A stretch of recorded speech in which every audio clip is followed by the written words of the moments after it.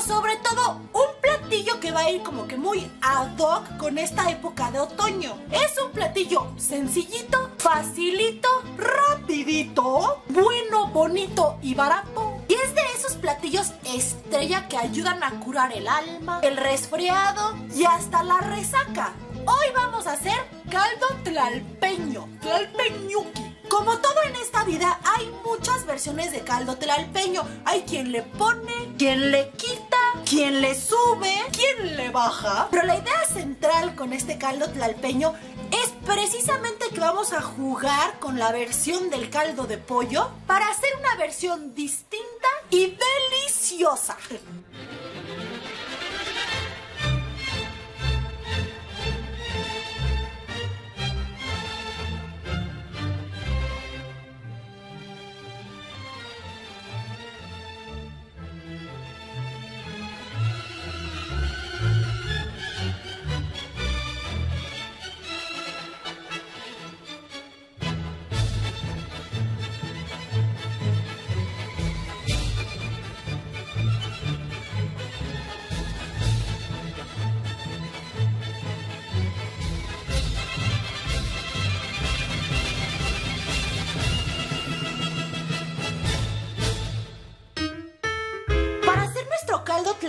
La base va a ser un caldo de pollo. Como yo siempre les digo, el caldo de pollo lo van a hacer con sus piezas favoritas. Yo por esta ocasión lo voy a hacer con pechuga porque sale carne y la puedes deshebrar y es como que más, más limpio el platillo. Y aunque a mí no me gusta comerme el pellejito de la pechuga, el pellejo le da mucho sabor al caldito. No sé, como que le da grasa o le da algo rico. Y por acá tenemos esta parte del pollo que le llaman el cuadril. Que no es otra cosa más que el esófago del pollo, o sea, ve, como que el tórax. Este cuadril, pues no es para comer, digo, hay personas que sí se lo comen. Pero este pescuezo de pollo que tiene por aquí, como que le dan un sabor al caldo más sabroso. Entonces, si quieren pedir cuadril o si quieren pedir alitas de pollo, también como para complementar y para hacer un caldo delicioso. Vamos a empezar por hacer el caldo de pollo normalito, que yo por ejemplo tomo las piezas de pollo, le voy a poner a la olla bastante agua porque pues este de aquí va a salir nuestro caldo talpeño. Y a mí me gusta ponerle media cabeza de ajo Veo, o sea, es como que la cabeza entera y así tal cual se la pongo. Sé que suena muy extraño, pero así se la pongo, como que queda más rico. Luego le pongo cebolla, un pedacito de cebolla. Esta es cebolla morada, pero cualquier cebolla. Así el pedacito. Y por último, mi ingrediente secreto para que el caldo de pollo quede así súper rico, que muchos ya lo han probado y me han dicho, ah, sí, no te pases, es la canela. Esta es canela normal, así, canela en tronquito yo le pongo una rajita al caldo de pollo. Yo sé que van a decir que como canela, pero créanme, le da un sabor delicioso que la gente dice, ay, es que sabe algo delicioso, pero no sé qué es, pero es la canela. Es la canelurri. Y ya por último, me gusta preparar el caldo con dos cuadritos de consome de pollo en polvo, que es el sabroseador. Eso se los pongo por aquí, la marca que ustedes quieran. Y yo le voy a poner una cucharadita de sal, pero sal de grano, que es como que más rica. Pero si quieren sal normal, no pasa nada. Ahí está. Voy a tapar el pollo y así no lo vamos a llevar a la estufa y lo vamos a poner a cocer. Se va a tardar aproximadamente 40 minutos para que esté bien cocido el pollo.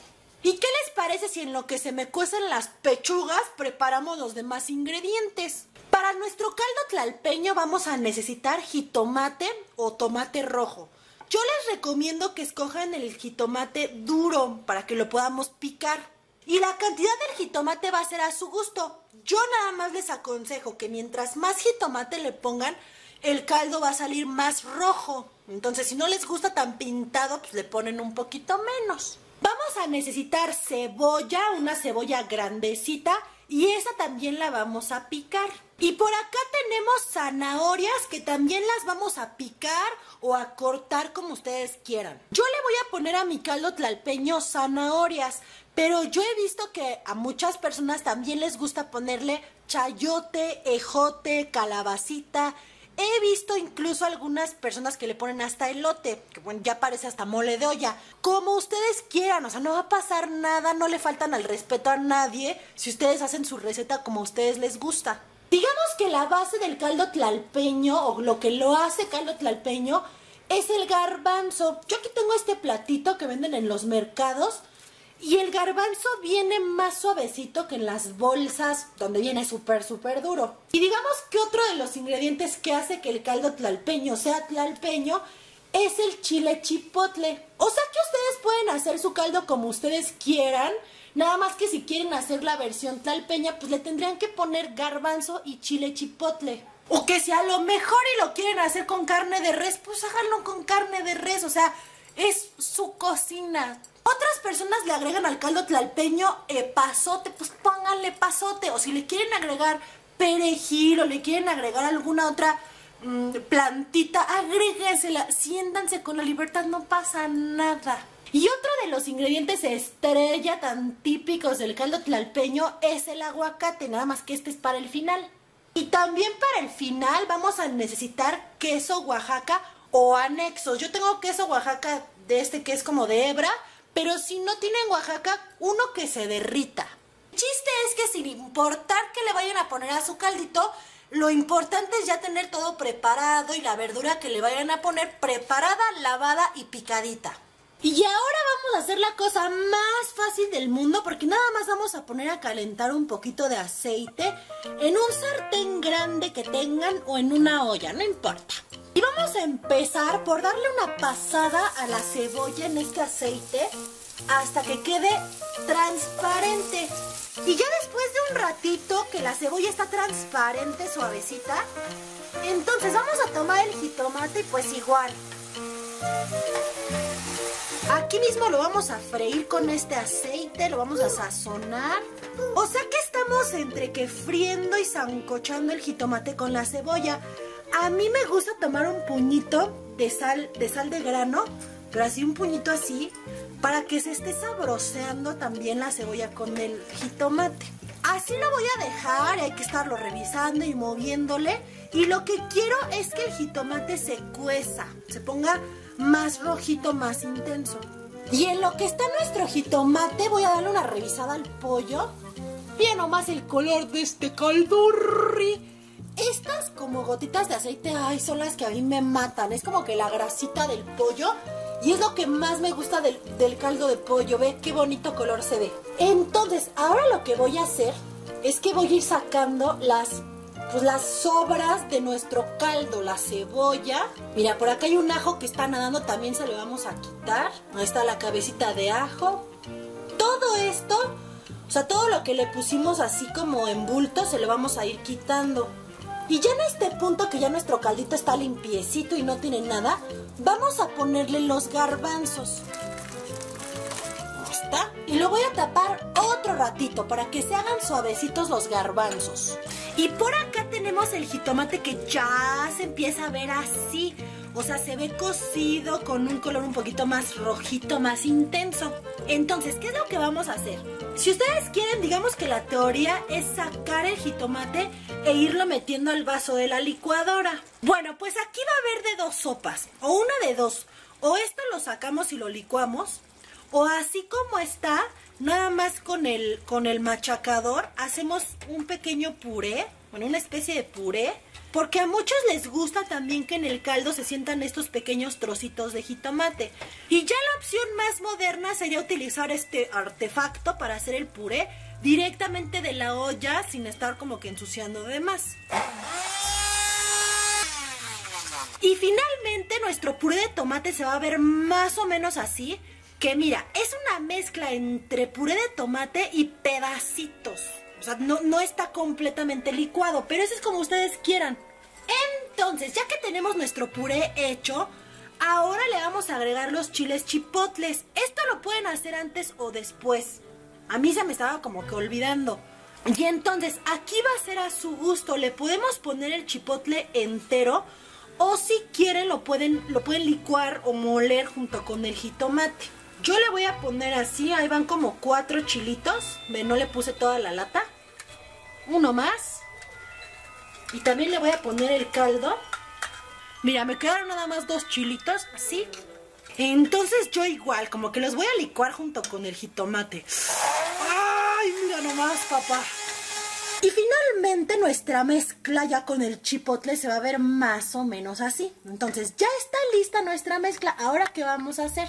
Bueno, pues ahora me voy a traer para acá el caldo de pollo. Que si se acuerdan, pues este caldo de pollo de verdura, por ahorita pues nada más tiene el garbanzo. Entonces, así como está, Vamos a empezar por ponerle las verduras, que en mi caso yo nada más le voy a poner zanahorias. Y ya si ustedes le quieren poner a lo mejor y que la calabaza o el lejote o lo que ustedes quieran, se lo, se lo estaríamos poniendo ya en este momento que está todo cocida. Bueno, pues ya están las verduritas puestas y entonces ahora lo que voy a hacer es que voy a tomar la salsa, bueno, no, el puré y este puré se lo voy a poner que ya este puré tiene todo el sabor. Pues mira nomás, papi Ricky. Y entonces ahora sí vamos a vamos a revolver esta mezcla. Ve nomás, ve nomás, no te pases. Hay otras personas que en vez de hacer el caldo tlalpeño con jitomate, lo hacen con chile guajillo, pues también se puede, o sea, digamos que el concepto es el mismo. Mira nomás. Ya nos va a quedar este caldo. ¡Ay, papirrín, eh! Mira cómo se ve. Y entonces aquí está el pollo y toda la cosa. Este caldo está a punto de estar. Nada más tenemos que esperar a que se cueza la zanahoria y el garbanzo. Pero antes que otra cosa suceda, pues vamos a probarlo. Prueben su caldito para ver si no le falta sal, consome de pollo. No se pasen. El mío no le hace falta nada. Ya, así está perfecto. Ya lo voy a tapar y lo voy a revisar en 15 minutitos, no menos, 10 minutos, para ver cómo van las zanahorias y ya. Y como ya está a punto de quedar este caldito, mira nomás cómo se ve, papi. Mira nomás el color. Ya, como ya casi está, entonces yo voy a empezar a sacar una pieza de pollo, en este caso pues una pechugonia, ya para desmenuzarla y empezar a servir el caldito. Y bueno, pues ahora sí ya pasó otro buen ratito y entonces a mí se me hace que ahora sí ya está lista la verdura. Entonces, mira, vamos a ver cómo están. Vamos a probarlos porque ahorita como que pareciera que están bien duros, pero luego como que al contacto ya quedan bien. A ver, ya, los garbanzos ya están. La zanahoria también ya tiene que estar suavecita. Igual la vamos a probar. Y ya, si no, pues lo dejamos otro ratito. Pero yo estoy segura de que ya está. Ya está. ¿Quién entonces, para servir este caldo tlalpeño, bueno, voy a tomar pollo desmenuzado. Si quieren poner el pollo con la pieza completa, pues también se vale. Y entonces yo voy a tomar un poquito del caldito con todo y las verduras. Le vamos, le vamos a ir poniendo las verduritas. Y le vamos a poner una buena cantidad de caldo, porque realmente el caldo es como que la, la estrella de este platillo. Ahí está el caldurri. No te pasa, aquí huele, o sea, el chipotle huele delicioso. Ay, mira nomás. Y entonces, así como está el caldo todavía caliente, así, súper rápido. Lo más rápido que puedan hay que echarle el queso Oaxaca, así desmenuzado, para que el calor del caldo haga que el queso Oaxaca se derrita. Ve nomás, ve nomás, no te pases, ve esto.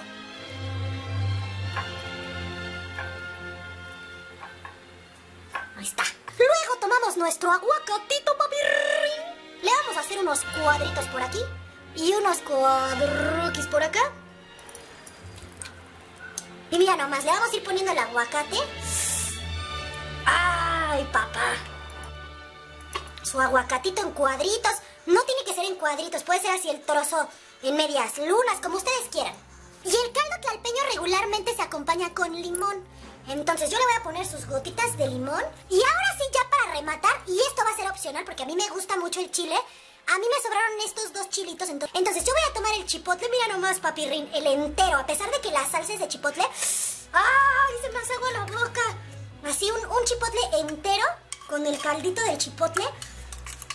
¡Ay, papirrín, no te pases! Y así como para que se truene este caldo. ¡Ay, qué delicia! Y así como está, ¡a comer! Y todo el chiste de comer este caldo tlalpeño es que tú metes la cuchara y entonces la sorpresa es que te vas a encontrar con pollo, queso derritiéndose, que es este de por acá, este es el quesito que se está derritiendo, el aguacate, yo le voy a poner así, mira, Y por aquí está el trocito de chipotle. Entonces, así como está. No, no, no, no, no. Y el caldito rojo, no te pases. Y mira nomás el caldito. Y así como está el caldito.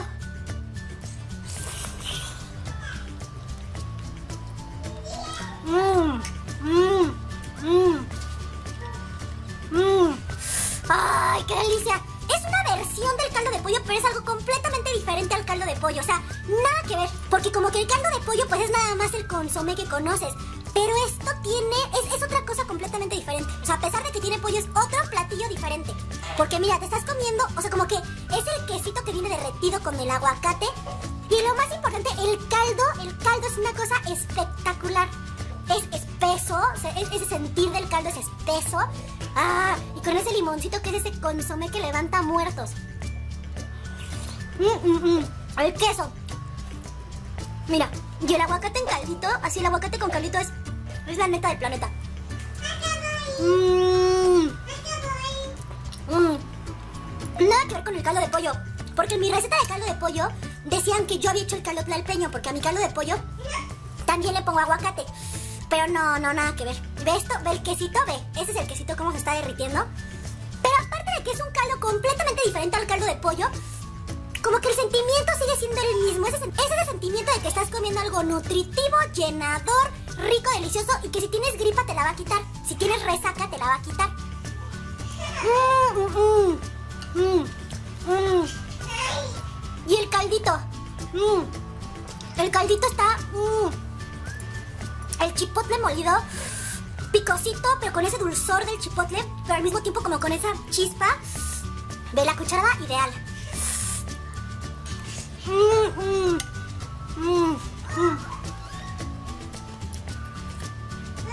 Es que todo está delicioso. Los garbanzos le dan ese como, como espesor. El sabor del queso derritiéndose en tu boca con esa salsita. Es que esto es como una salsita, como el caldito como salsita. Ay. Mm, Es de esos caldos que. Es de esos caldos que te hacen estornudar. Que te hacen sudar. Porque el picor se te va como a la nariz, se te sube a la nariz el picor, pero es, no es algo feo, es algo delicioso. Y, eso que no puedes dejar de comerlo porque el caldo es divino. Mm. El caldito y el quesito y el pollito, ay, la neta. Como que el queso y el chipotle son los que se llevan, se llevan así la fiesta. Son el alma de la fiesta. ¡Ah, qué rico!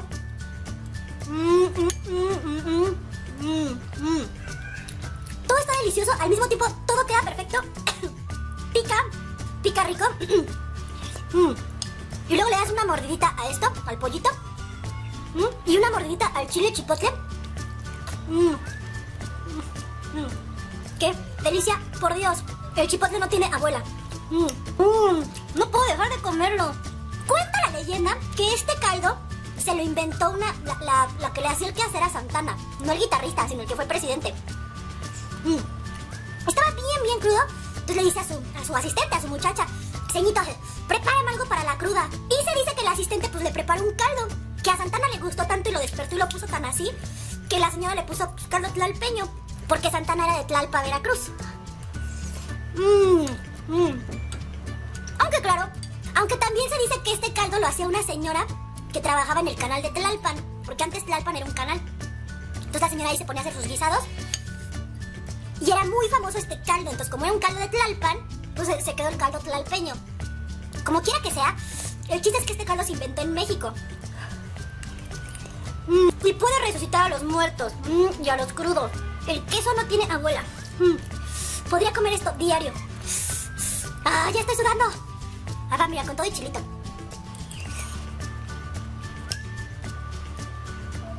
¡Ay, me enchilé! Ya me enchilé, pero qué rico. ¡Oh! Me encantan estos caldos. Oye, así como... Cuando los mexicanos estamos súper enchilados, estamos liberando endorfina. Que nos hacen muy felices. ¡Ah! ¡Qué rico! ¡Ah! ¡Qué rico! ¡Ay, qué rico! Mmm. Mmm. No te pases. ¡Ah! Estoy llorando. Y son estos calditos que te aflojan el moco feliz. Oh. ¡Ay, qué rico está! Mm. Ah, no te pases. ¡Pero ahora sí! ¡Ha llegado la hora esperada! ¡La hora cocinada! ¡La hora garbanceada! ¡La hora chipotleada!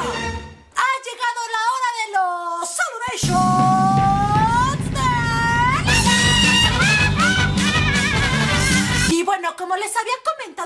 Pasado, vamos a estar mandando saludos así de distintas partes para que todos estén contentos. Susana Márquez quiere que le mande un saludo. ¡Mua! Te mando un saludo y un besote.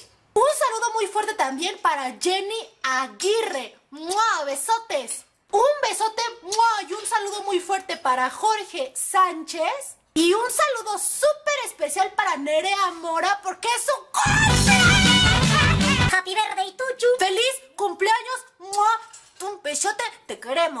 ¿Le cantamos las mañanitas? Estas son las mañanitas que cantaba el rey. A ver, A las muchachas bonitas se las cantamos. a ti. Despierta, Nerea. Fiesta. Mira que ya mané. Yo. Ya los pajaritos. Cata. La luna ya se. Tío. Somos el único país que cantamos las mañanitas. Y finalmente, un saludo para Marcelo Zambrano, un mini chefcito de 11 años, al que le mando un besote enorme, te quiero. Espero de todo corazón que les haya gustado mucho este video. Si les gustó, pueden darle clic al botoncito rojo de abajo que dice suscribirse para que los videos le lleguen hasta la deliciosa y chipotlosa comodidad de su hogar. Yo soy Marisol Pink. Cuídense mucho. Los quiero mucho. Y nos vemos a la próxima con otro video.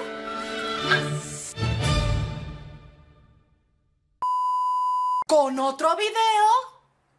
Más. Más. Chócalas. Eso. ¿Quieres que te cuente un chiste? Sí. Había una vez un perro que se llamaba Pegamento. Y se cayó. Y se pegó. Sí. ¿Te gustó el chiste? Sí. ¿Sí? ¿Te cuento otro chiste? Sí. Había una vez un pájaro y voló. ¿Te gustó el chiste? Sí. ¿Sí? ¿Otro chiste? ¿Otro chiste? ¿Qué le dice Batman a Robin? Mamá, se baja tomate. ¿Cómo hacen las mamás que se enojan? No, no, no, no, no. Ahora sí te reíste.